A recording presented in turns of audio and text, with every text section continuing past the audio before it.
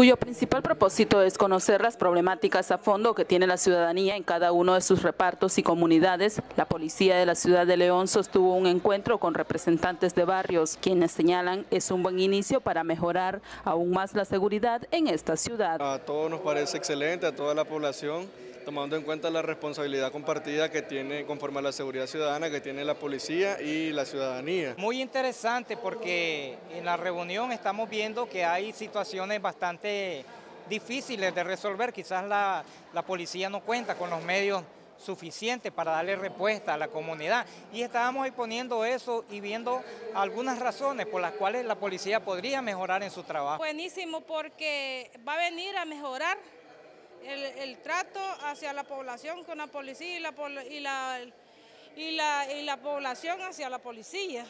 Entonces viene a darle un, mejor, va, va a trabajar mejor la policía porque va a saber cuáles son los puntos débiles que están, que está sucediendo en la población. Entonces, vos sabes que si vos no te dicen el mal, vos no sabes dónde, dónde está fallando. Entonces es bueno las críticas constructivas para que se le hizo hoy a la policía para que trabajen mejor con la población. El segundo jefe de la Policía de León señaló que este es un trabajo que se viene realizando con diversos sectores de la población, donde se pretende dar respuesta y trabajar con las familias para solucionar los problemas de inseguridad que les aquejan. El objetivo nuestro es nutrirnos de toda esa información para perfeccionar y mejorar nuestros planes de enfrentamiento.